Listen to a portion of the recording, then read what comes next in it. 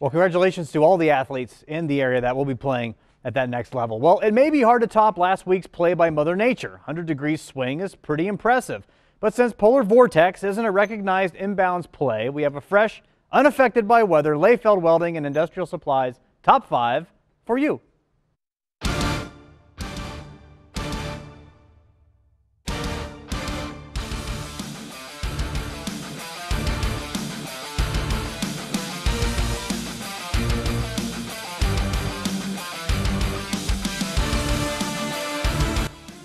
Coldwater's Cole Frilling kicks this week's top five off as he picks off the new Knoxville pass, and wide open he is for the two handed slam as the Cavaliers win big.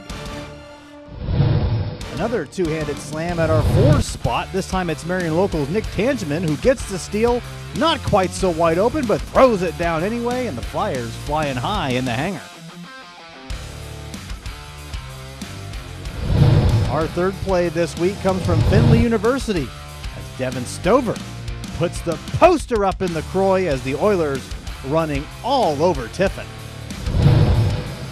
Our runner-up this week comes from the Lincolnview Crestview rivalry as Kalen Etzler blows by his defender and throws it down hard, getting the Knights fired up as they knock off the Lancers.